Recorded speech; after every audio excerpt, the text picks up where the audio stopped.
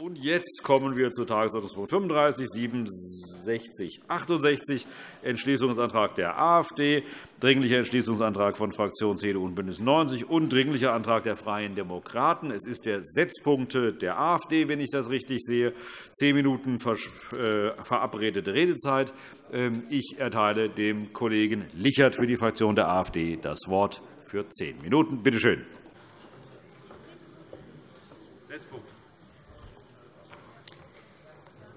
Vielen Dank, Herr Präsident, liebe Kollegen, meine Damen, meine Herren! Es ist Wahlkampf, und das merkt man am zuverlässigsten daran, dass mit immer größerer Hysterie ganz elementare Fakten unterdrückt werden müssen. Vom Krieg sagt man, das erste Opfer sei immer die Wahrheit. Mir scheint, auf den Wahlkampf trifft das auch zu. Ein gutes, schlechtes Beispiel für Narrative, die durch die Realität schlicht nicht gedeckt sind, lieferte Frau Staatsministerin Puttrich am vergangenen Dienstag. Sie stellte sinngemäß die europäische Integration als Ergebnis der EU dar. Das ist weder historisch richtig, noch ist es plausibel. Im Gegenteil, es ist sogar völlig unplausibel, danke sehr, sogar völlig unplausibel, dass ehemals verfeindete Staaten sich erst auf weitreichende Souveränitätstransfers einigen und danach mal schauen, wie man sich verträgt. Das ist schlicht Propaganda und noch nicht einmal gute. Wahr ist, die EU von heute ist ein Produkt der europäischen Integration und nicht ihr Produzent. Damit sind wir bei unangenehmen Wahrheiten. und Ich könnte jetzt das episch lange Sündenregister der EU wieder vorbeten, aber ich glaube, das brauche ich nicht. Eigentlich wissen Sie das nämlich alle längst. Und jeder Politiker muss es sogar wissen. Andernfalls verdient er das Vertrauen der Bürger nicht. Und so ist es Ihre Pflicht, es ist Ihre Pflicht zu wissen, dass die Dopingwirkung der vertragswidrigen Niedrigzinspolitik der EZB rapide abnimmt. Der Wirtschaftsabschwung steht unmittelbar bevor. Sie alle kennen die jüngsten Steuerschätzungen. Es ist Ihre Pflicht zu wissen, dass die Wirtschaftskrise in der EU-Südkurve keineswegs gelöst ist. Die enorme Jugendarbeitslosigkeit dort spricht Bände. Es ist Ihre Pflicht zu wissen, dass Deutschland laut EZB das Land mit dem niedrigsten Medianvermögen in der Eurozone ist und somit keineswegs der große EU- und Europrofiteur, wie Sie es gerne darstellen. Und es ist Ihre Pflicht zu wissen, dass die Ursache, nicht der Auslöser, aber die Ursache der Euro-Staatsschuldenkrise, nämlich das Nullgewichtungsprivileg für Euro-Staatsanleihen, nicht einmal angetastet wurde. Die Gefahren für die Bankbilanzen sind also noch gewachsen. Ich habe im Wahlkampf mehrere Podiumsdiskussionen absolviert, und natürlich keine davon kommt ohne das Thema Demokratiedefizite der EU aus. Und kurioserweise herrscht da über alle Parteien hinweg Einigkeit. Komisch. Dennoch haben es sehr viele eilig, immer mehr Souveränitätsrechte nach Brüssel abzugeben, obwohl sie selbst die Demokratie- und Rechtsstaatsdefizite zugeben müssen.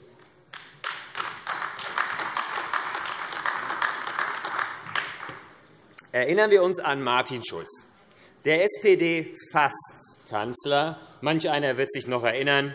Er selbst sagte, die EU ist so undemokratisch, dass sie nicht in die EU aufgenommen werden könnte.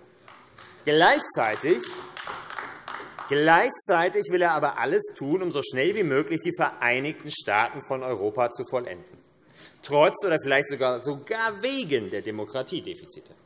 Um es ganz klar zu sagen, der europäische Bundesstaat ist grundgesetzwidrig. Wer dennoch daran arbeitet, ohne Volksabstimmungen, das ist ein Anschlag auf das Grundgesetz, und das müsste den Verfassungsschutz auf den Plan rufen und nicht die Arbeit einer Oppositionspartei.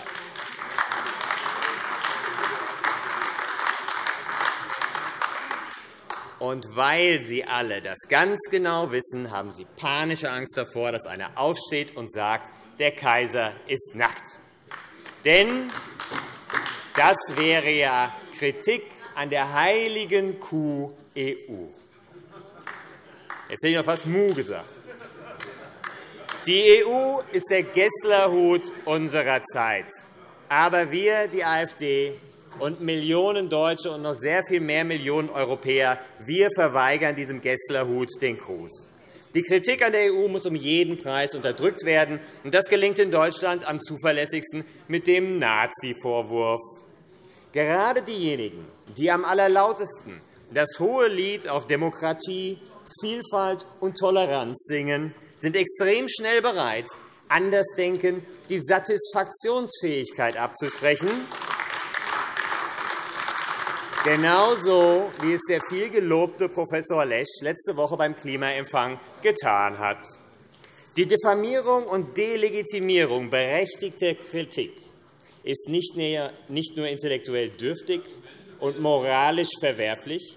Diese Vergiftung des politischen Klimas, diese Rationierung der Bürgerrechte nach Gesinnung, das ist nichts anderes als geistige Brandstiftung.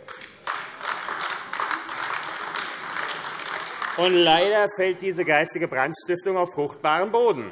Und wer sich darüber informieren muss, so wie Sie, der kann das im Bundesverfassungsschutzbericht für das Jahr 2017 nachlesen. Ja, es tut weh. Ich weiß, Sie wollen das nicht hören, aber Sie müssen es sich anhören. Dort steht nämlich, linksextreme Gewalt ist um 37% gestiegen, rechtsextreme um 34% gesunken. Und mittlerweile liegt die Zahl Mittlerweile liegt die absolute Zahl linksextremer Gewalttaten mehr als 56% über den Rechtsextremen. Und da müssen wir uns natürlich schon über die Einseitigkeit des Präsidenten des Staatsgerichtshofs wundern, dass er das irgendwie nicht wahrgenommen hat. So, und was macht der neue Verfassungsschutzpräsident Thomas Haldenwang? Herr Kollege Boddenberg ist ja leider nicht da. Herr Bellino, vielleicht äh, nehmen Sie dann die Botschaft für ihn mit. Na, ich glaube, die Botschaft werden Sie weitertragen wollen. Sie sind es doch, der uns am allerliebsten daran erinnert, dass der neue VS-Präsident die Einstufung der AfD als Prüffall verkundet hat. Ich bitte Sie inständig, machen Sie weiter so. Erinnern Sie uns und die Bürger weiter und ständig daran, dass Ihr Parteikollege und braver Parteisoldat Thomas Haldenwang verkleidet als ein politischer Topbeamter mit entsprechender Neutralitätsverpflichtung seinen Dienst auf der neuen Position mit einem Rechtsbruch begangen. Und wie offensichtlich rechtswidrig wie offensichtlich rechtswidrig sein Verhalten war, sehen Sie daran, dass, obwohl das Verwaltungsgericht Köln eine Eilentscheidung getroffen hat, das Bundesamt für Verfassungsschutz nicht einmal in Berufung gegangen ist. Das ist ein Offenbarungseid und ein Armutszeugnis für einen Rechtsstaat. Stellen wir uns doch einmal vor, Viktor Orban käme auf die Idee, seinen Inlandsgeheimdienst auf die größte Oppositionspartei im nationalen Parlament anzusetzen. Was wäre da wohl los? Den Rest überlasse ich Ihrem Kopfkino. Aber wir bilden uns hier noch etwas drauf ein in Deutschland. Interessant, interessant. Das zeigt doch vor allen Dingen nur eins. Der Verfassungsschutz schützt nicht das Grundgesetz, sondern die Regierenden. Oder muss man schon sagen, die Herrschenden? Das ist schlichtweg ein Missbrauch von Exekutivgewalt und zutiefst unmoralisch. Ja, die AfD ist eine patriotische Partei, und sie ist mittlerweile die einzige. Ja, die AfD will Deutschland als souveränen Staat erhalten und gemeinsam mit anderen Nationen das Europa der Vaterländer vollenden. Ja, Deutschland soll ein deutsches Land bleiben und auch als solches zu erkennen sein. Wir haben keine Identitätsneurose. Wenn wir gute Europäer sein sollen, dann müssen wir auch gute Deutsche bleiben dürfen. Und ja, die AfD ist auch gegen unkontrollierte Massenmigration in unsere Sozialsysteme. Und wir verneinen, dass es eine moralische Verpflichtung gäbe, Migration gut finden zu müssen. Und das alles soll rechtsextrem sein. Das macht uns zu Nazis. Das ist also dasselbe wie der Mord an Millionen Menschen. Wer das behauptet, der ist dem Wahnsinn nah. Oder deutlich wahrscheinlicher, er missbraucht, er missbraucht die besondere Sensibilität der Deutschen beim Thema Rechtsextremismus und er missbraucht auf schäbigste, auf schäbigste Weise die Opfer des Nationalsozialismus für parteipolitischen und persönlichen Profit. Meine Damen und Herren, so verständlich Ihre Panikreaktionen in Anbetracht der desaströsen Faktenlage sind, so kontraproduktiv sind sie auch. Denn sie unterschätzen die Bürger. Ist es denn ein Zeichen von Stärke, wenn man die Opposition mit Geheimdiensten bekämpfen muss? Spricht es für die Qualität Ihrer Argumente, oder ist es nicht vielmehr ein Offenbarungseid, der zeigt, dass Sie die sachliche Auseinandersetzung mit uns um jeden Preis scheuen müssen? Die AfD wirkt offensichtlich. Wir sehen es an den Anträgen, die hier in den letzten Stunden hektisch eingereicht wurden. Sogar die CDU fühlt sich an ihr eigenes Parteiprogramm erinnert und will da offensichtlich noch beim Bürger punkten. Ich hoffe nur, dass das nicht nur Geschwätz vor der Wahl ist, sondern vielleicht auch einmal nach der Wahl einige Taten austrägt. Das wäre eine sehr hübsche Abwechslung, denken Sie nicht? So, meine Damen und Herren, und jetzt noch einmal etwas zum Thema 70 Jahre Grundgesetz. Heute Morgen haben wir die Feierstunde dazu gehabt. Und wie kann es sein, dass Sie diese unstrittige Erfolgsgeschichte ja, 70 Jahre einerseits feiern und andererseits genau diese 70 Jahre mit Nationalismus und Kleinstaaterei gleichsetzen? Das ist inhaltlich absurd. Herr Kollege, Sie müssten so langsam zum Ende kommen. Ich bin auf der Zielgeraden, Herr Präsident.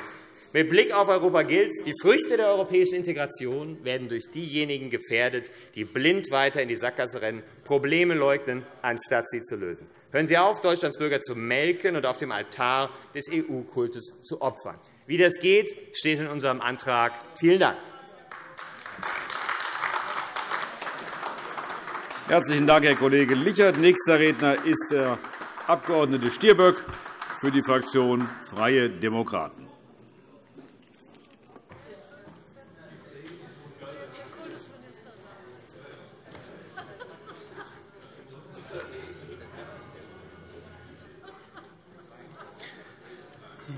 Herr Präsident, meine sehr geehrten Damen und Herren! Wir sprechen hier über den Antrag der AfD mit dem Titel Keine Ausweitung der Transferunion in der Europäischen Union. Das klingt fast ordoliberal. Aber der ganze Duktus des Antrags und auch Ihr Auftritt, Herr Lichert, deuten es schon an. Es handelt sich um Etikettenschwindel. Sie nutzen drei Tage vor der Wahl die Aktuelle Stunde. Sie nutzen drei Tage vor der Wahl die Aktuelle Stunde nicht zu einem flammenden Bekenntnis zu Europa, sondern formulieren im Kleingedruckten subkutan, dass Sie eine Weiterentwicklung Europas nicht wollen. Sie sagen subkutan, dass Sie Europa nicht wollen. Das ist der Kern Ihres Antrags und Ihres Auftritts. Und das und dass Ihr Transferunion-Antrag ein antieuropäischer Antrag ist, das wird deutlich, wenn man Ihren Antrag kontextualisiert. Er ist nämlich drei Tage vor einer Wahl unvermeidlich Teil einer Wahlkampfstrategie. Und deshalb hilft ein Blick in Ihr Wahlprogramm, liebe Kollegen von der AfD.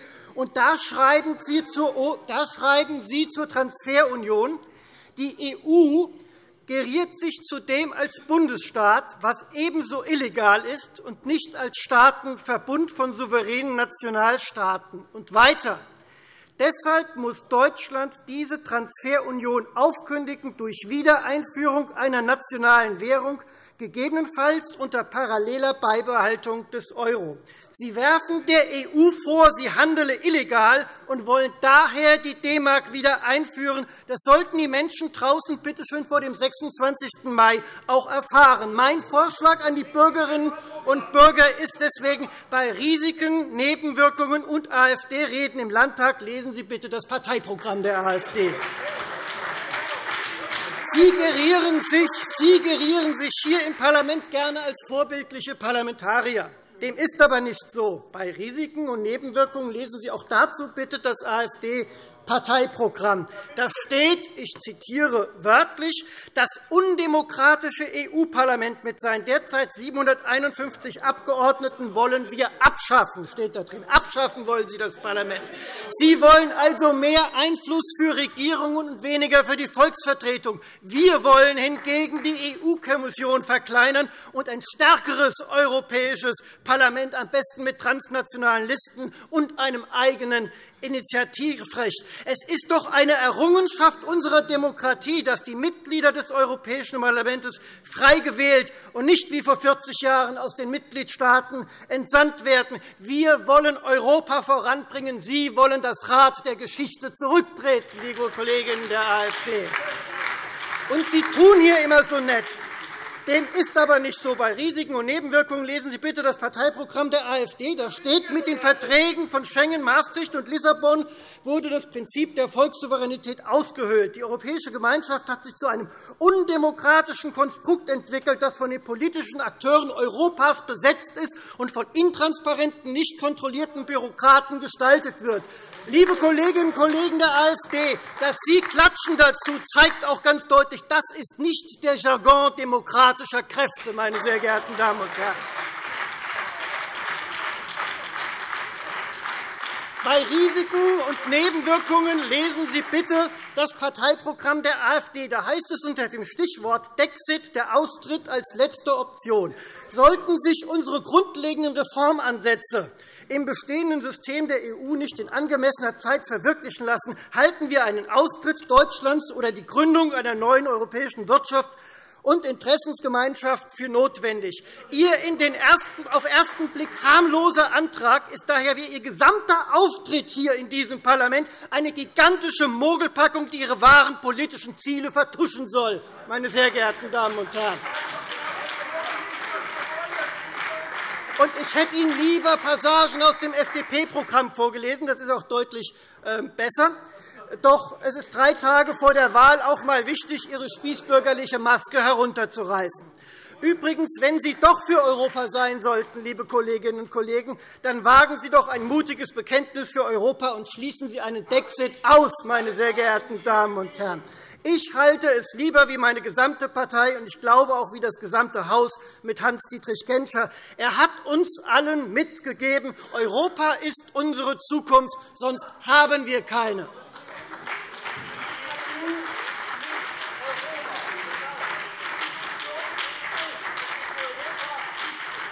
Wir Freien Demokraten wollen drei Tage vor der Europawahl mit unserem alternativen Antrag ein letztes Zeichen für Europa setzen. Es ist ein Antrag, der den Wert Europas betont. Es ist ein Antrag, der sich bekennt zur Einheit Europas als Garantie für Freiheit, Frieden, Wohlstand, Menschenrechte, als Garantie einer lebenswerten und sozialen Integration. Es ist ein Antrag, der sich bekennt zu den gemeinsamen Werten, wie sie die europäischen Verträge und dazu gehören, liebe Kolleginnen und Kollegen der AfD, auch Schengen, Maastricht und Lissabon und der Grundrechtscharta niedergelegt sind. Es ist ein Antrag, der die Errungenschaften der EU für Hessen anerkennt. Es ist aber auch ein Antrag, der aber auch nicht vergisst, wo wir Europa auch weiterentwickeln können. Unser Credo als Freie Demokraten ist es, wir brauchen mehr Europa dort, wo große Fragen nur gemeinsam gelöst werden können, etwa in Handelsfragen, in der Außen- und Sicherheitspolitik, in der Migrationspolitik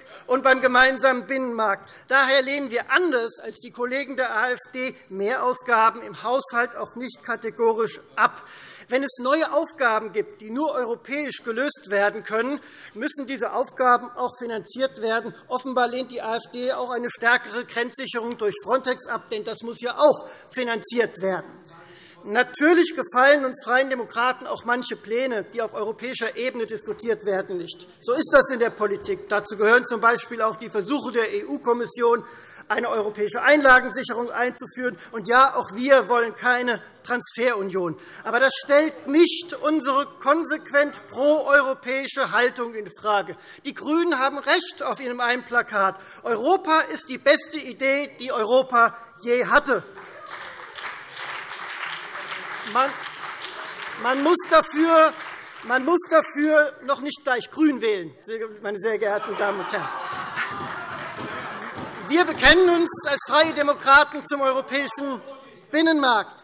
Von diesem Binnenmarkt profitiert Hessen wie kaum eine andere Region in Deutschland. Daher sollte es im Interesse der Hessen sein, diesen Binnenmarkt zu stärken und ihn zu vollenden mit einem echten digitalen Binnenmarkt und einer Kapitalmarktunion.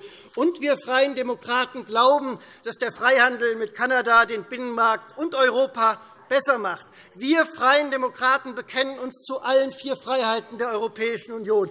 Diese vier Freiheiten sind auch das Europa der Freiheit, das wir meinen. Das Europa der Freiheit, das auf den Plakaten der AfD gefordert wird, ist in Wahrheit ein Europa der Schranken, ein Europa der Ressentiments, ein Europa der Rückwendung in die Vergangenheit. Machen wir Europa groß und die Populisten klein.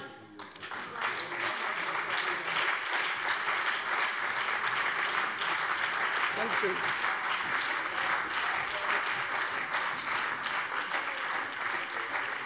Vielen Dank, Kollege Stirböck. Nächste Rednerin ist die Kollegin Dahlke für die Fraktion BÜNDNIS 90 die GRÜNEN.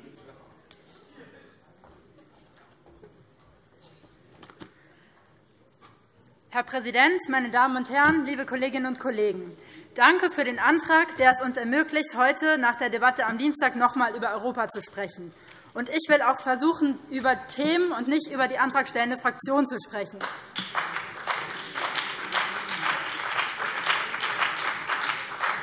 Lassen Sie mich dazu eines vorweg sagen. Europa gibt es nicht umsonst. Im Gegenteil, wem Europa etwas wert ist, der muss es sich auch etwas kosten lassen. Die EU kann die Aufgaben, für die sie bereits heute verantwortlich ist, nur erfüllen, wenn der EU-Haushalt entsprechend gut ausgestattet ist. Und wenn die EU nach und nach mehr Verantwortung übernimmt, weil es sinnvoll ist, europäische Gemeingüter, von denen alle profitieren, auch europäisch zu finanzieren, wie der Ausbau erneuerbarer Energien, wie schnelles Internet, wie gemeinsame Außenpolitik oder wie nachhaltigere Mobilität, dann müssen die Kosten hierfür von den Mitgliedstaaten auf die EU übergehen, und das Volumen des EU-Finanzrahmens muss entsprechend diesen Aufgaben wachsen.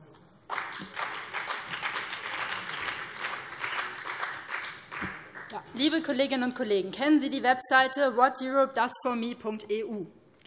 Deren Besuch kann ich sehr empfehlen. Die Webseite zeigt einmal nach Regionen und einmal für Themenbereiche auf, welche Vorteile die EU mit sich bringt. Da können Sie bis auf die kommunale Ebene, und zwar europaweit, runterbrechen, was die EU da konkret tut. Ich habe das einmal als Beispiel für Wiesbaden nachgeschaut und folgende Daten aus 2018 gefunden. Zitat. Wiesbaden erhält Fördergelder aus dem Europäischen Fonds für regionale Entwicklung. Die EFRE-Mittel haben die Stärkung von Forschung und Innovation und Förderung der Produktivität, besonders in kleinen und mittleren Unternehmen, zum Ziel. Zudem sollen CO2-Emissionen in der Region gemindert und integrierte Konzepte für nachhaltige Stadtentwicklung unterstützt werden. Mit 1,4 Millionen € aus EFRE-Mitteln wurde z. B. Technik von rund 60 hessischen Kinobetreibern modernisiert, darunter auch die Caligari Filmbühne, nämlich die Umrüstung auf digitale Abspieltechnik. Außerdem hat Wiesbaden in den letzten drei Jahren 550.000 € aus dem ESF erhalten zur Verbesserung des Zugangs zu Beschäftigung, Ausbildung und Bildung für benachteiligte Jugendliche und junge Erwachsene. Zitat Ende. Also, ja, Deutschland zahlt in Summe zwar am meisten in die EU ein, bekommt aber auch einen erheblichen Teil über Subventionen und andere Förderungen zurück.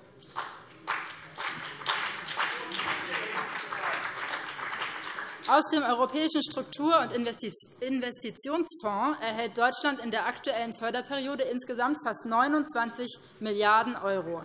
Über EFRE und ESF fließen also mehr als 60% dieser Mittel unmittelbar in Investitionen für Wachstum und Beschäftigung in Deutschland. Von dem freien Binnenmarkt in der EU, dem größten Wirtschaftsraum der Welt, profitieren rund 500 Millionen Verbraucherinnen und Verbraucher.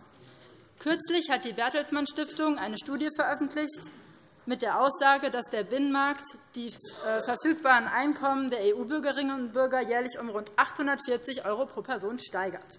In Deutschland sind es im Vergleich 1.046 €. Damit liegt Deutschland an der Spitze und profitiert wie kein anderes Land vom Binnenmarkt. Und um das Ganze noch einmal zu toppen, der Wert für Hessen liegt sogar noch einmal höher bei 1.129 €. Zwischen 2014 und 2020 fließen mehr als 2 Milliarden € von der EU nach Hessen. Damit liegt Hessen unter den Top-10-Regionen, die von der EU profitieren. Aber ganz ehrlich, die Frage, ob sich mit der EU-Mitgliedschaft für einen Staat mehr Vor- oder Nachteile verbinden, lässt sich doch nicht mit einer buchhalterischen Gegenüberstellung von Einnahmen und Ausgaben bezogen auf den EU-Haushalt beantworten.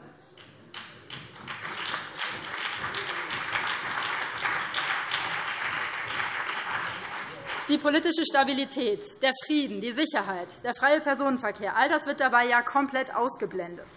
Ganz besonders für Deutschland gilt, dass der Gegensatz zwischen europäischen Interessen dort und deutschen Interessen hier falsch ist. Historisch, ökonomisch hat kein Land in Europa wie Deutschland von der europäischen Einigung profitiert. Und in besonderem Maße gilt das auch für Hessen. Eine stärkere Vereinigung der Mitgliedstaaten liegt deswegen im ureigenen Interesse Deutschlands.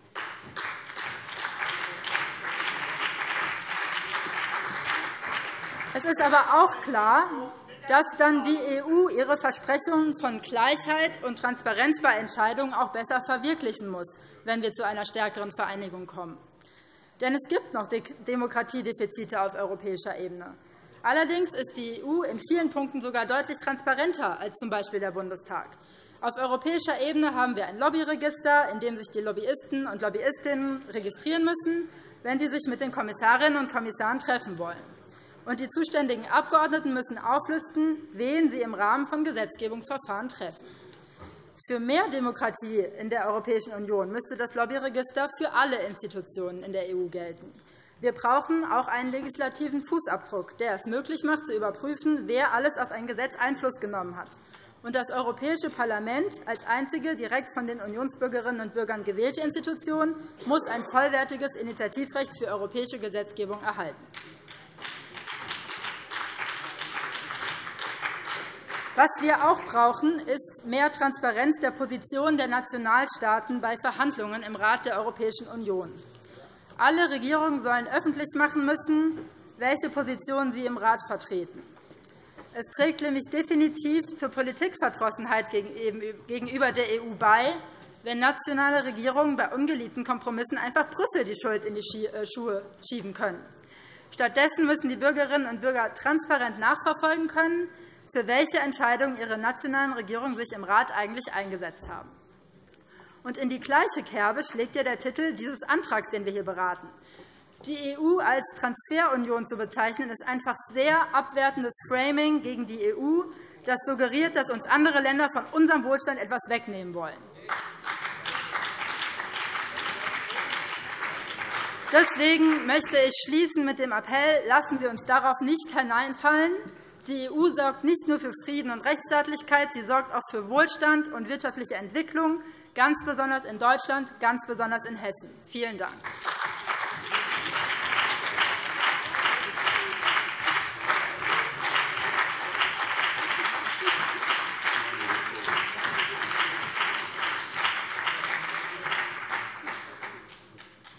Vielen Dank, Frau Kollegin Dahlke. Nächste Rednerin ist Frau Abg. Scheuch-Paschkewitz für die Fraktion DIE LINKE.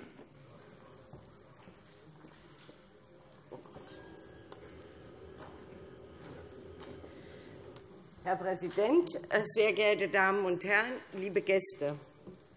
Dieser Antrag der Fraktion, hier ganz rechts außen sitzend, ist gespickt von Demagogie und Vereinfachung. Das heißt, es geht Ihnen gar nicht um Inhalte, also um eine ehrliche Auseinandersetzung. Es geht vielmehr darum, noch einmal für Ihre populistischen, kruden Thesen kurz vor der Europawahl die Werbetrommel zu rühren. Sie beklagen in Ihrem Antrag, dass Deutschland größter Nettozahler der EU sei.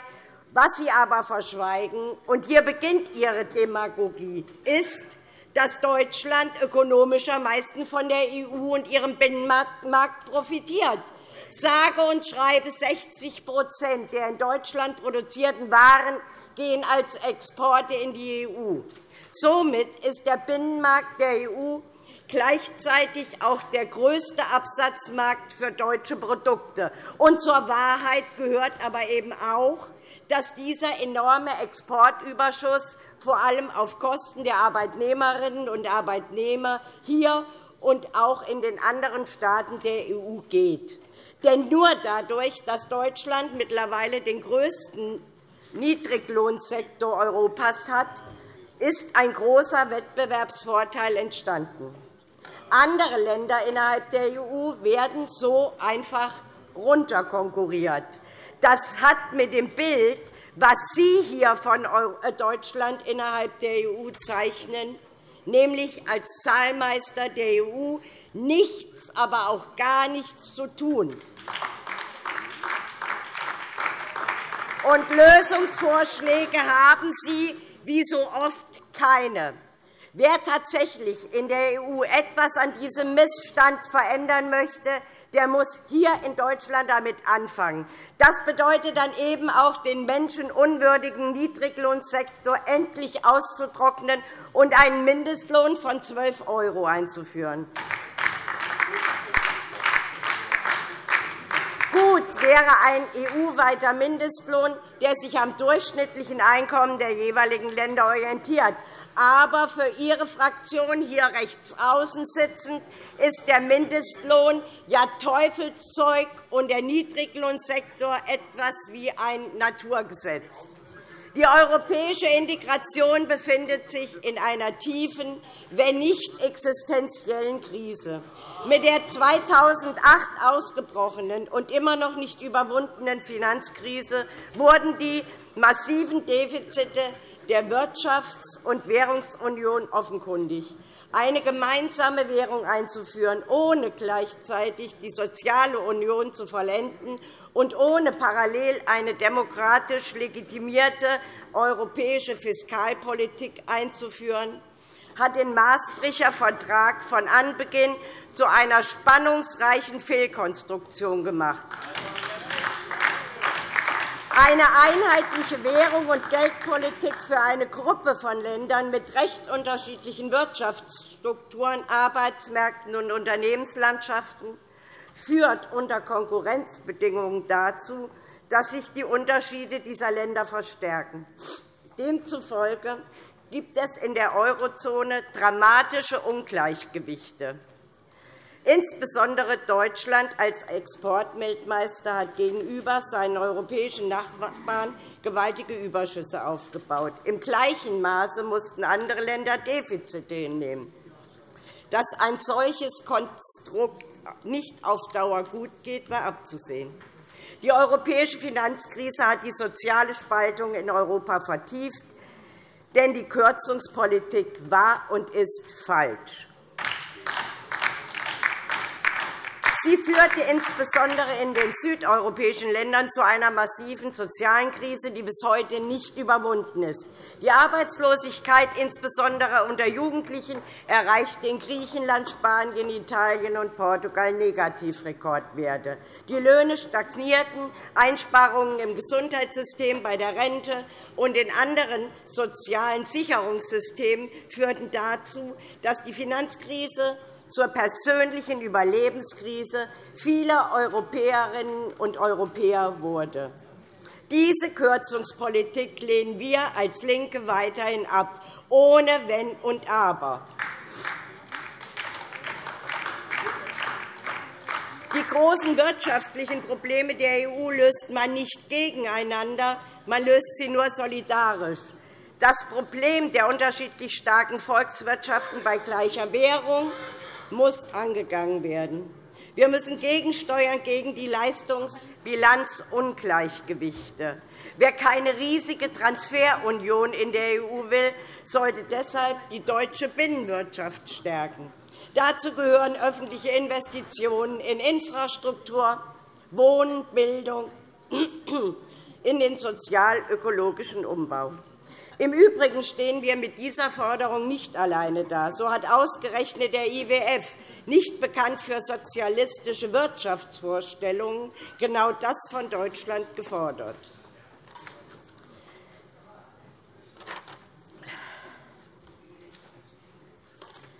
Die Aufhebung der Kürzungspolitik in Südeuropa, siehe in Portugal, würde neue Spielräume für eine neue Wachstumspolitik schaffen. Auch in diesen Ländern braucht es Investitionsprogramme.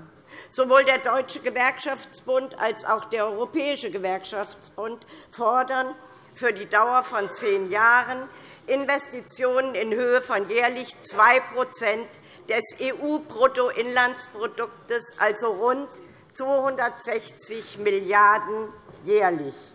Dieser Forderung schließen wir uns an. Und ja, die EU hat Demokratiedefizite.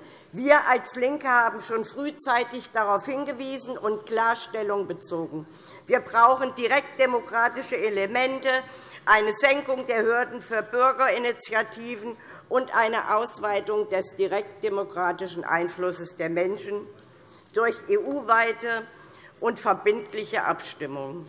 Das Europäische Parlament muss endlich in allerlei Hinsicht mehr Gewicht bekommen. Es bedarf hier eines vollumfänglichen Initiativrechts des Parlaments. Sie hingegen schlagen in Ihrem Antrag einen angemessenen institutionellen Rahmen vor. Was auch immer das bedeuten mag, Sie haben auch hier keinerlei Lösungsvorschläge anzubieten. Und zu allerletzt lehnen Sie unter anderem eine europäische Arbeitslosenversicherung, die Sie als Umverteilungsmechanismus bezeichnen, ab. Ich sage Ihnen, wenn ich aktuell an eine Umverteilungspolitik auf Kosten der Steuerzahlerinnen in Europa denke, dann kommt mir nicht eine gemeinsame Arbeitslosenversicherung in den Sinn, sondern Ihr Busenfreund in Ungarn, Viktor Orban. Es sind nämlich EU-Gelder, die er sehr gerne annimmt, um seinen Freunden Aufträge zuzuschanzen, die sie zu Multimillionären gemacht haben. Davon hört man von Ihnen natürlich kein Wort. Sie reden von einem Europa der Nationen, genauso übrigens wie Ihre Freunde in Österreich von der FPÖ. Und spätestens jetzt sehen wir doch, wie diese sich ein Europa der Nationen vorstellen und wes Geistes Kind Sie und Ihre Freunde der sogenannten Vaterländer sind.